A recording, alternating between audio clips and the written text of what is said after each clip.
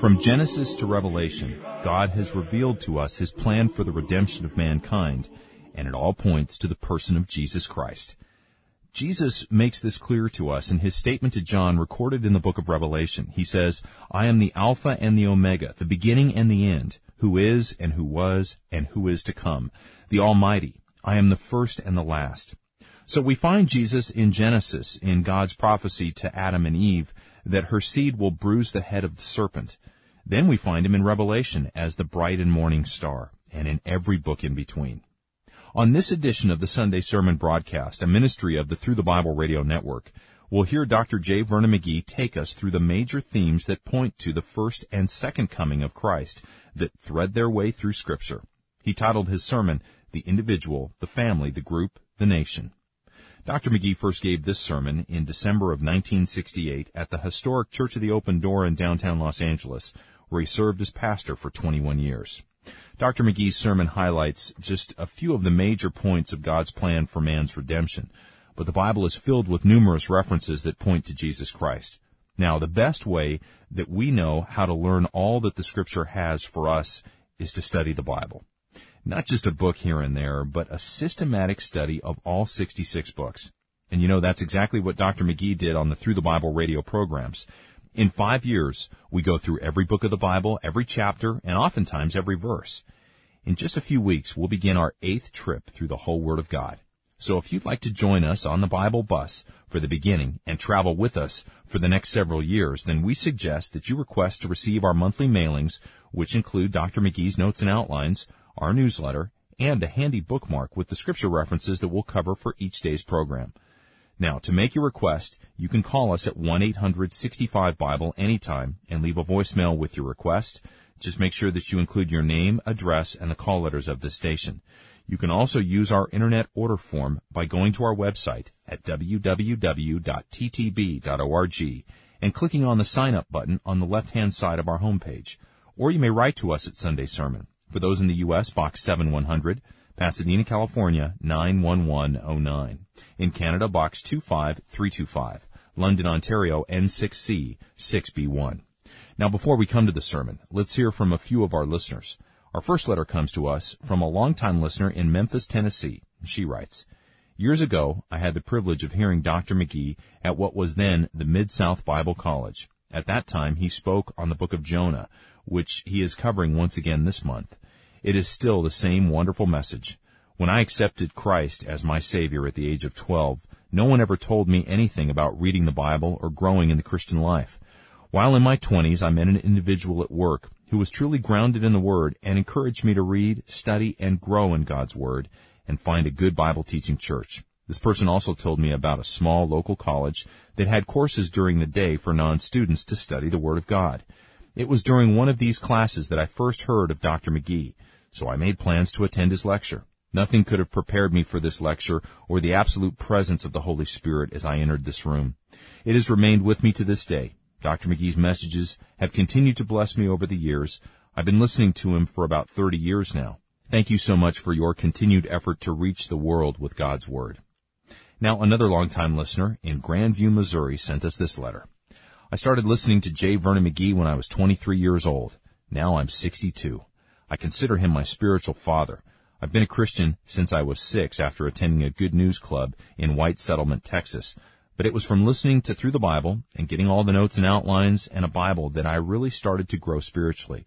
There was a period of years that I quit listening due to work hours and a busy life raising two children. Several years ago when I turned on the radio while I was eating breakfast at 6 a.m., I heard that wonderful familiar voice of J. Vernon McGee. So he is my breakfast partner every morning now. I'll never forget the time he announced that the doctors found some cancer spots on his lungs. I think the whole world was praying for him and what a wonderful witness from God it was when they disappeared. I want to help make sure through the Bible stays on the air, so I'm writing this letter to you with a check because I know God blesses this wonderful ministry. And he certainly does. Now, in Milton, Washington is where this next listener lives, and here's what the letter says. Thank you for continuing to keep this five-year Bible teaching program moving along. I'm coming up on my completion of my first trip through using your plan. My husband has been riding the Bible bus for a longer time. It is wonderful to share this activity together. We start our Monday through Friday with you at 6 a.m. We listen over the internet. Thank you all for helping us draw near to God and continue to grow in His grace and knowledge. We're blessed and you are a blessing to us. Our next letter comes to us from a listener in Cincinnati, Ohio, who's been with us for 30 years and she writes, Initially I found Dr. McGee on my radio while I was preparing dinner. I was married with a toddler and was a toddler myself in Christ. I grew under the fine tutelage of Dr. McGee. My family grew too, four wonderful children. My husband would go to great pains to tape your program each evening. Even though the children were young, they were nurtured on the wonderful voice of Dr. McGee. Time has passed, the children are grown. We purchased your tape series as we missed too many lessons, try as we did to catch them all. And our bookshelves have a set of Dr. McGee's lessons. Just last week I loaned Genesis to my daughter-in-law who was searching timidly for the truth. I thank God for the solid foundation Dr. McGee has provided. In this world of upside down, especially in the churches, I continue to have a bulwark of fundamental teaching truths with Dr. McGee. I thank God for His mercy and grace to us through His beloved child, Vernon. And then there's this letter from Hamilton, Alabama, which says, Through the Bible is a blessing to us as we listen to the programs. It is amazing that the sermons Dr. McGee gave those many years ago are so relevant for the day and age in which we live. Proof that our God and His Word are still the same yesterday, today, and forever. We count it a joy to be able to partner with you in the work that you continue to do and support this work as we do each month.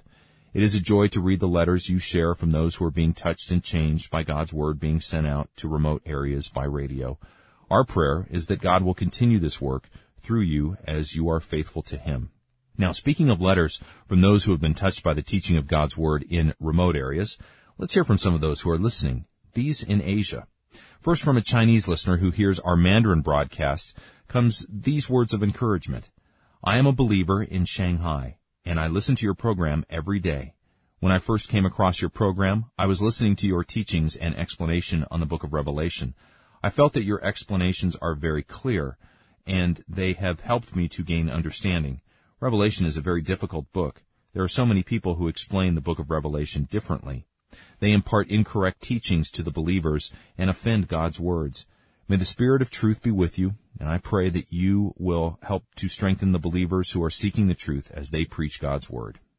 Now, a listener in Shanxi, China sent us this brief letter. Greetings and blessed in Christ. I have been listening to your radio program for a long time. Uh, through your program, I accepted Christ in February of 2001. Your programs are great. I often listen to it as I lay on my bed. I'm particularly fond of Through the Bible. I thank God for using you as an instrument to reach me. You have helped to lead us to God's Word. Another listener of our Mandarin broadcast wrote to us saying, I am happy to have a chance to listen to your program. I am a little Christian and am like a pot ready to be used by God. My church is located in the rural area and it seems that we are isolated from the rest of the world and so we seldom have a chance to learn about God's Word. We're hungry spiritually. Since I know little about God, I also do not know much about serving God, but I'm glad that you can help me know more about our wonderful God. In recent years, we've been able to use the internet more and more for getting out the Word of God, and currently 31 of our over 100 foreign language broadcasts can be heard online. One of these languages is our Korean program. So here's a couple of letters from listeners who use the web to listen to us in Korean.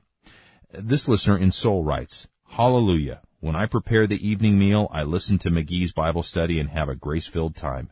There are spectacular scenes from Genesis, and I can see that spot of history. Your explanation of the Bible leads me to heaven. I can forget daily fatigue and many problems by following God's guidance.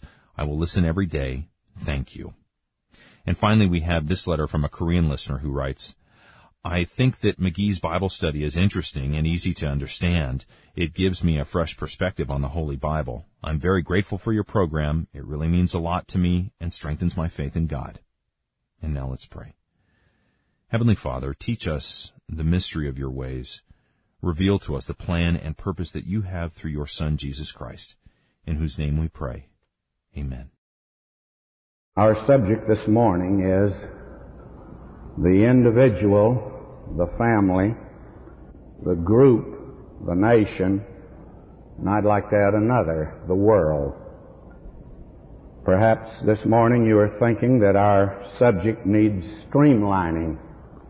Well, I'm thinking the same thing. And I'm prepared this morning to cut it down to size. And I wonder if I may give it this subject, looking through God's telescope.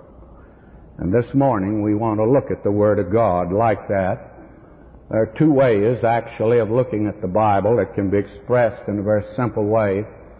One is to use the microscope, and that's to go into detail. That's the analytical viewpoint. And then there is the telescopic method of getting the long range program, and that is the synthetic method. And this morning, that's the method we are using. The Bible is a telescope, and you can look through it, and out yonder you will see that it's fixed on a star. It's a fixed star, by the way. And this star is out there in time and space. Called here in Revelation 22:16, and you see, you don't see it with a telescope till you get to the very end of the Bible. And after all, that's what telescope means. Telos means end. And that's what you see at the end. And at the end we see a star. Will you notice verse 16? I, Jesus, have sent mine angel to testify unto you these things in the churches. I am the root and the offspring of David and the bright and morning star. That is the term that he appropriates here for himself. There are a group of people that are here on the earth today, and many of them have already gone ahead, but they are being prepared today to go out to this star. They are being put today and are put on the launching pad of faith. By faith, they are put on and in Christ. And one of these days, they'll take off. The countdown will come. He says, Behold, I come quickly. That doesn't mean soon. It means when these events in Revelation begin to come to pass, they come to pass quickly. It's a regular countdown that you have in the book of Revelation. And therefore, everything from Genesis to Revelation is moving toward the appearance of this star, the bright and morning star. Anything and everything from the creation of time and man to the appearance of the star is but just for a moment. It's a passing fancy. It's a whim, a vagary. It's a delusion. Soon pass away. All is in the plan and purpose of God, but it's not an end in itself. None of these things are. It only has significance in its relationship to this star. Today, the riots, the rebellion, the lawlessness, the immorality, the problems of the nations, the problems of the individuals, the problems of the cities, they're all important for this day. They were not important for yesterday, and they'll not be important for tomorrow either. They're just for the moment. They're like Jonah's gourd. They came up in a day, and they'll disappear in a day. But may I say to you that this fixed star toward which we're moving today is the thing that becomes all important. And this morning, I'd like to ask you to come and take a look through the telescope. We want to look out yonder into space and take a look at this tremendous star and see it in relationship to where we are and these things that are around us today. But we'll have to go way back at the beginning to get to the place where we can begin to look through this telescope, if you please. And I want us this morning to move back there. The human procedure, of course, would be to begin with an individual and then to the family and the group and the nation and then the world. That would be the human method. However, God does not use human procedure. And you'll find here that He does not begin with the individual, actually, begins with a nation. As important as Abraham might be, it's the nation that God has in mind when He called him. And back of him is that world of mankind. We call it today humanity, and a great deal is being said today about humanity and the human predicament. That is, what has happened to the human race. Why is it today, with all of our brilliance and our cleverness and all of our scientific gadgets, that the world today is in the sad shape that it is in? And man does not seem to be able to extricate himself and deliver himself from his problems. He's strapped down in the cities and he's strapped down out in space and he's strapped down in the world today. Everywhere he turns, man is strapped down. The Bible does have an answer. We'll go back and listen to the Lord as he tells us how it all began. After the creation of man and man's disobedience, God made it very clear what was going to happen. In Genesis 3:15 he says, and this is the I suppose the beginning of prophecy. It says, "And I'll put enmity between thee and the woman, between thy seed and her seed. He shall bruise thy head, and thou shalt bruise his heel." He said that there'd be a conflict that would go on until the enemy was removed from the scene. That enemy is Satan. And as long as he's in the world, there can't be peace in the world today. God says, I'm putting enmity between the two. And you and I ought to thank God this morning that man cannot make peace with sin. No man can. No man today, those that are out in the world today away from God are restless. And it's obvious right now they're marching everywhere. They're stirred up. Why? Because there's no peace today in the human heart at all. God made man that way after man's sin, that he'd put enmity between thee and the woman, and there would be the bruising of the serpent's head, but there would first of all be the bruising of the heel, and we're living in that particular period at the moment.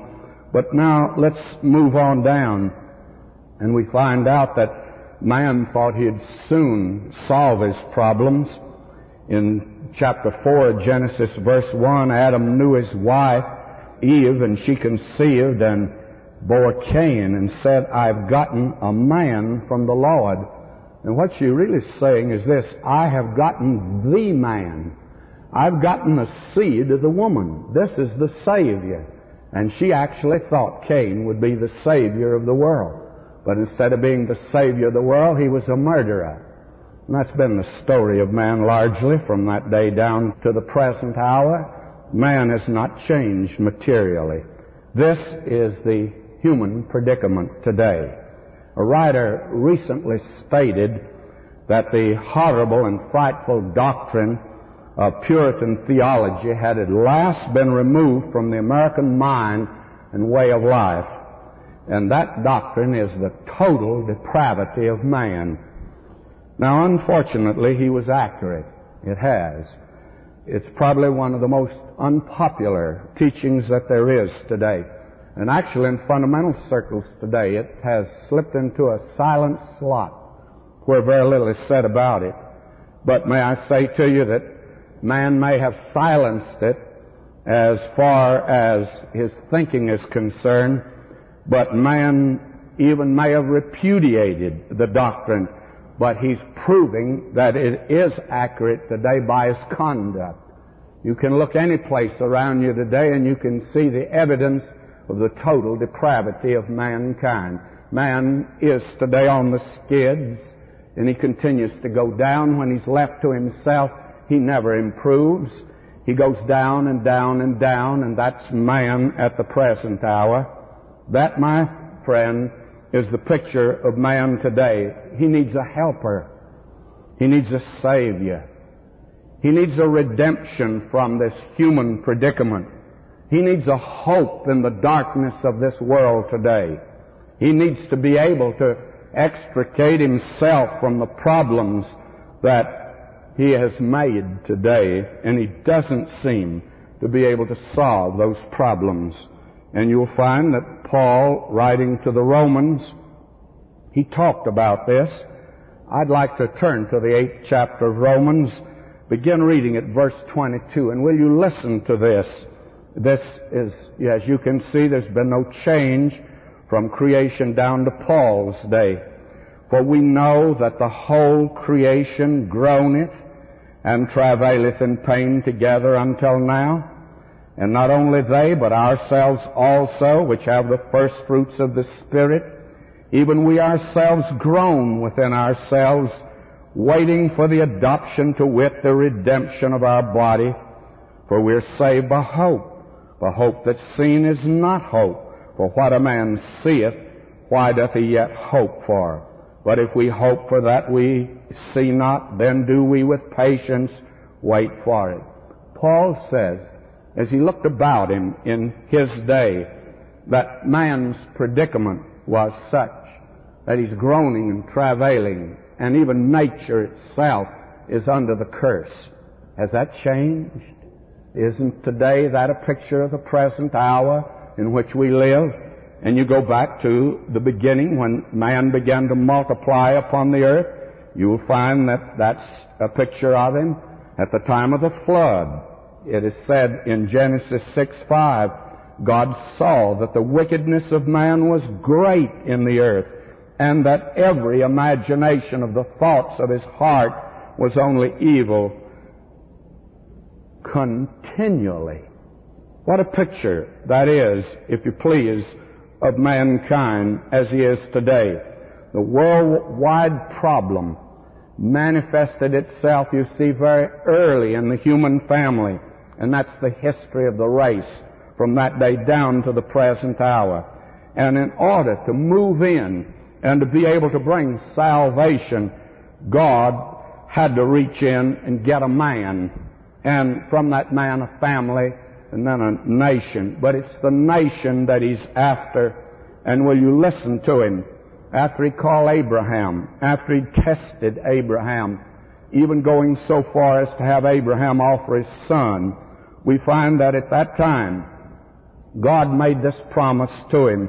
And will you listen to it? It's over in the 22nd chapter of Genesis, verse 15. And the angel of the Lord called unto Abraham out of heaven the second time and said, by myself have I sworn, saith the Lord, for because thou hast done this thing, and hast not withheld thy son, thine only son, that in blessing I will bless thee, and in multiplying I will multiply thy seed as the stars of the heaven, and as the sand which is upon the seashore. And thy seed shall possess the gate of his enemies, and in thy seed shall all the nations of the earth be blessed because thou hast obeyed my voice. So God now is telling Abraham that he's making a nation and he's reaching down now, pulling a man like a brand out of the burning. From that man a nation will come and out of that nation God will move to accomplish his purpose here upon this earth. And then that focused on actually three men Abraham, then Isaac, and then Jacob. And you find Jacob going down into the land of Egypt. And in Exodus, the first chapter, verse 5, it says, All the souls that came out of the loins of Jacob were 70 souls, for Joseph was in Egypt already. And verse 7, And the children of Israel were fruitful and increased abundantly and multiplied and became exceedingly mighty, and the land was filled with them. Now a nation is born, and through that nation, God will move to bring the Savior into the world because the telescope is focused down through the centuries upon a star, the bright and the morning star. And he's moving now very obviously in a definite way because Abraham had other sons. Ishmael was his son. Midian was his son. Medan was his son. And he loved Ishmael. He said to God, when God told him he was taking Isaac and that Ishmael would have to leave, he said, Oh, that Ishmael might live before you. My friend, today the sin that Abraham committed back yonder, if you want to know whether sin ever ceases paying dividends, look in that area today, the Near East, and you will see a great company of people called the Arabs, and they go back to Ishmael. In Mohammedanism, Ishmael is the one that is all important. And this morning, the greatest international problem is not China. It's not Berlin. It's the sons of Ishmael and Isaac. It's Abraham's sons. It's the sin he committed. Because, my beloved, that just happens to be the spot where God says things will happen. They've always happened there.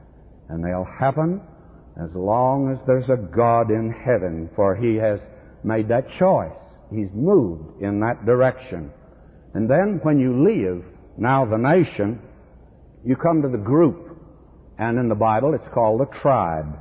It happens to be the tribe of Judah now that God will fix upon. Not the eldest son nor the youngest son. You would think that the eldest son would be chosen Reuben, or the youngest son would be chosen Benjamin, but neither one. God reaches down, and when old Jacob was on his deathbed in the land of Egypt, he had these twelve boys standing around him. When he came to Judah, he had a prophecy for each one. And for Judah in Genesis 49 8, Judah, thou art he whom thy brethren shall praise. Thy hand shall be in the neck of thine enemies. Thy father's children shall bow down before thee. Judah's a lion's whelp. From the prey, my son, thou art gone up. He stooped down, he crouched as a lion, and as an old lion, who shall rouse him up? The scepter shall not depart from Judah, nor a lawgiver from between his feet until Shiloh come.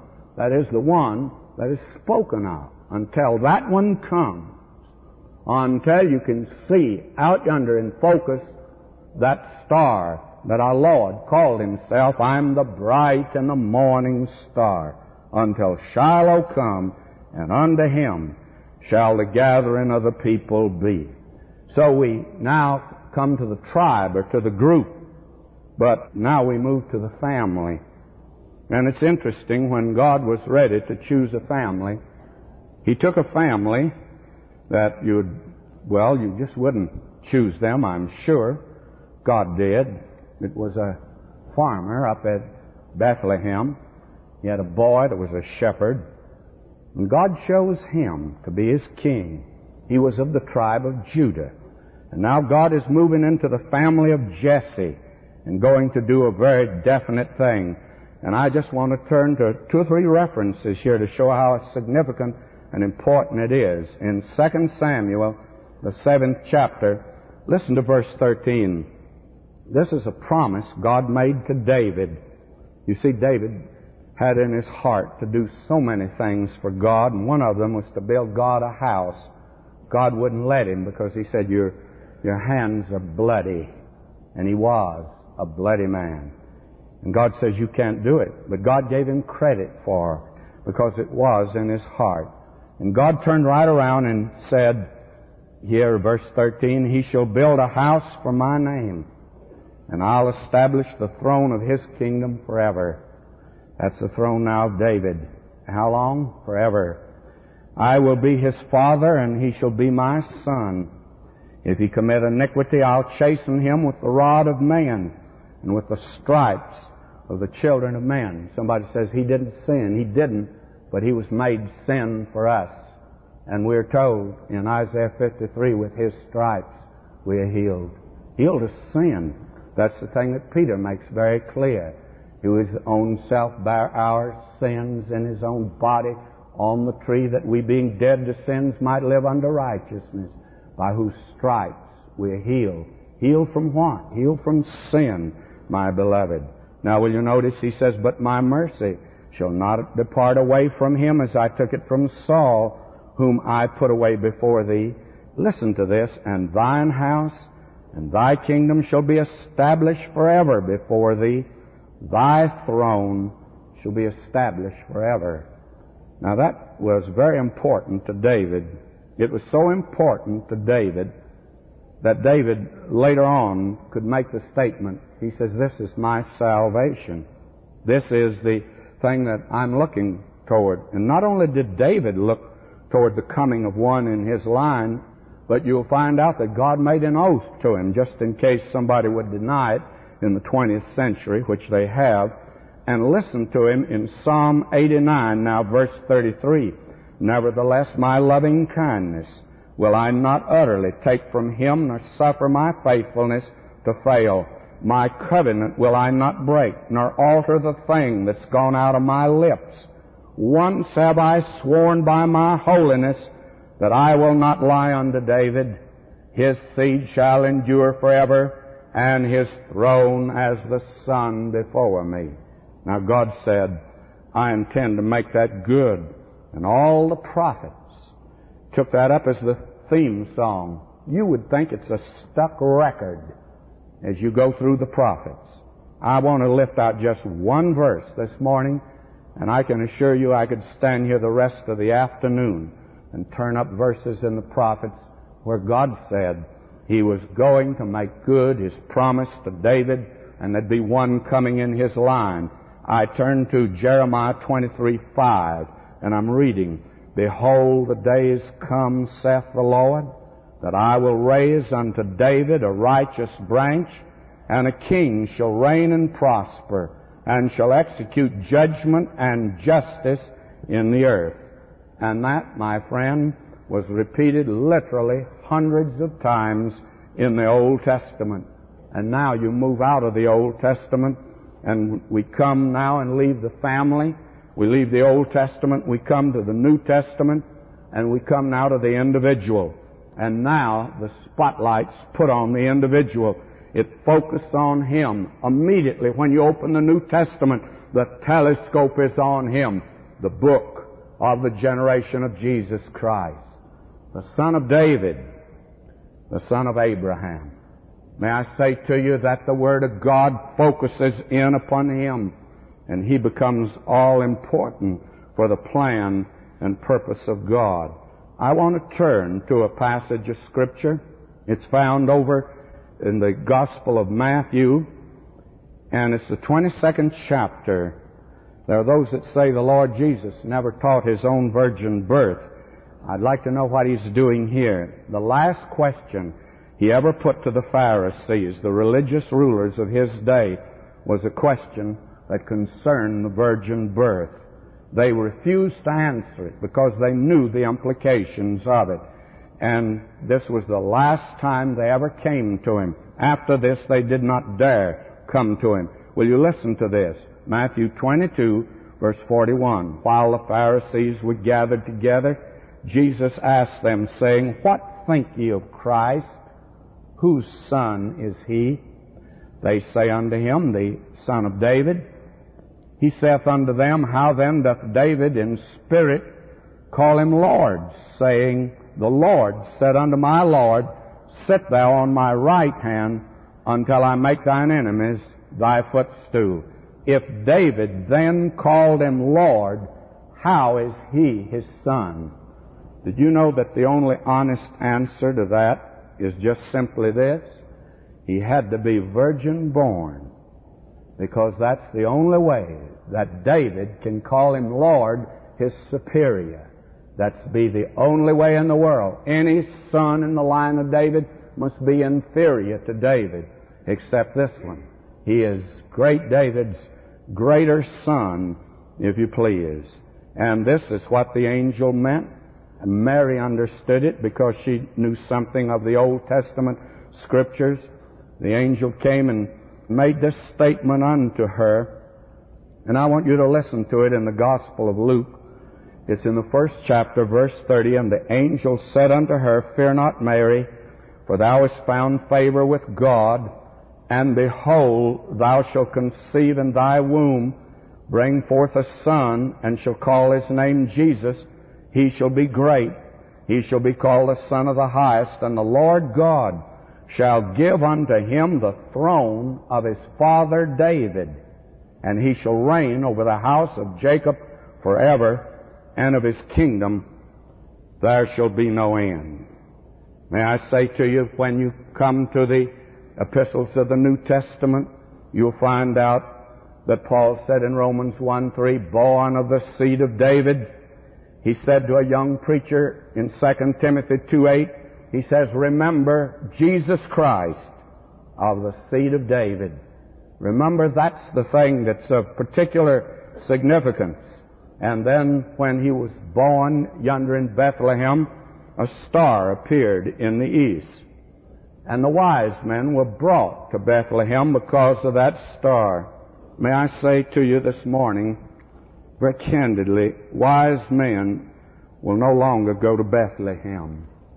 I know today that a great many pilgrims are on their way over there and they like to be there for Christmas. I'm not sure that I'd want to do that, but many people apparently like that sort of thing. But there's no use going to Bethlehem. The telescope is no longer pointed at Bethlehem. That was in the plan and purpose of God. And wise men don't go there anymore. Will you listen to him now? He says, let's look somewhere else. I, Jesus, have sent mine angel to testify unto you these things in the churches. I am the root and offspring of David and the bright and the morning star. The bright morning star is a star that it can be either Venus or Jupiter or Mercury or Mars. It's difficult for me at least to tell just which star it is. But out in the Hawaiian Islands, the picture I showed of that sunrise scene last Sunday night, before that sunrise scene, I was sitting out there writing and I noticed how bright it was. And the reason it was so bright, it was because of the morning star. The morning star always appears before the sun comes up. Always appears before the sun appears. May I say to you, if you look through the telescope now very carefully, there's another star, and it's as bright as the sun. Fact of the matter is, it is the sun. It is the Son of God. The Old Testament closed like this in Malachi 4 2. But unto you that fear my name shall the Sun of Righteousness arise with healing in his wings. That's the hope of the Old Testament, that there'll be sunrise on this earth someday. We're in the darkness now. But before the sun comes up, there will be the bright and the morning star. For the bright and morning star is the one who came in the line of David, but he's coming to take his church out of the world. Down in Cape Kennedy in Florida, there are three men getting ready to go to the moon. I hope this morning as I speak there are a group of people listening to me that are getting ready also to go out to meet a star. For that star is on the way. That's the bright and the morning star. Behold, I come quickly. And before he comes to the earth, and when he comes to the earth, he will be the sunrise for this earth. And there can never be any peace till he comes for the earth. There can never be really blessing for this earth. He alone has the solution to the problems of the earth. But before then, He takes those that are His own out of the world. This morning, friend, would you get your eyes off of the troubled waters of the present day? I tell you, the sea is roaring right now. The waves are rolling high and it's dark out in this world today. Will you take a look? Look out yonder. There is a star, the bright and morning star. It's the star of hope. I don't know about you, but I won't be going to Bethlehem this year. I'm not really interested in that. That's past. He says, I've come forth from the Father. I'm coming to the world. Again, I leave the world. I go to the Father. And this morning, He's at God's right hand. And the one who came 1900 years ago as a little baby is coming again to take those that are His own out of this world, and He takes them on the basis of His grace. Nobody will be taken out because of their merit, because of who they are, or what they've done. This book closes. The grace of our Lord Jesus Christ be with you all. By grace, we're going out to meet Him. Be wonderful to spend Christmas with Him this year. Shall we pray? Our gracious, loving Father God, we've attempted this morning to just take a brief look through the telescope to see Thy plan and purpose that when humanity went off the track, when humanity went into rebellion, Thou didst not give them up. And that this little earth today has not slipped out from under Thy control that thou today art moving with a plan and purpose that's been going on now for several thousand years. Oh God, help us to look through this telescope and see out yonder there's a fixed star, a sure star that brings a hope today. And that star is Christ. May He be the one that will cause us to set our compass for our little bark today. May He guide us over these troubled seas. May we keep our eye on that star in the darkness of the hour in which we live. And if there are those here this morning that are not rightly related to Him, or those listening in today that are strangers to His grace, that have never yet come to Him as a sinner to receive Him as a Savior. We pray this may be the moment and that they too may look as wise men for His star, even for Him. For we pray in His name, Amen. Are you looking for the bright and morning star? Have you placed your hope in Jesus Christ, who is that star? Is He guiding your life? Have you come to the realization that you're a sinner in need of a Savior like all of us? Well, the only one who can save you is the same one who died for your sins and paid the penalty so that you might have eternal life.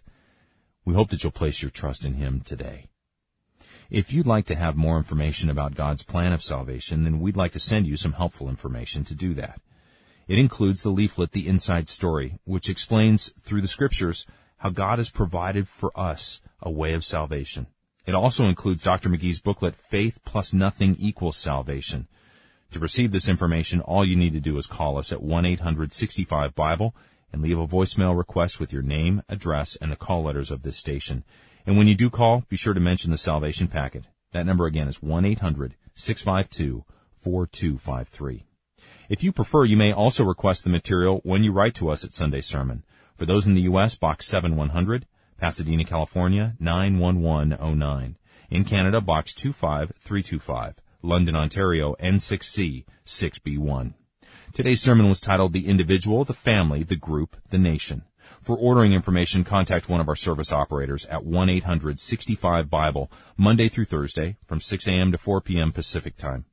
Join us this week for the Through the Bible radio program heard on many of these stations or online at our website, ttb.org. Now we pray that God will fill you with His grace, mercy, and peace.